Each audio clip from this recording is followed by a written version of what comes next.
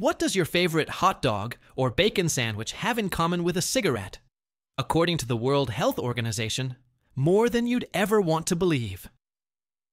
The World Health Organization, is international agency for research on cancer, has classified processed meat as a group 1 carcinogen. This means there is sufficient, undeniable scientific evidence that it causes cancer in humans. It is in the exact same category as tobacco and asbestos. Now, this is the critical part. It does not mean eating bacon is as deadly as smoking. It means the strength of the evidence is the same.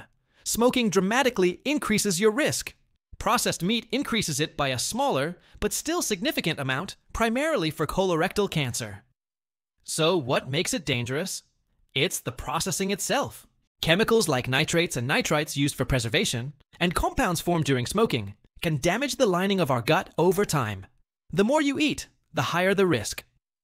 The advice from global health agencies is simple limit processed meats as much as possible.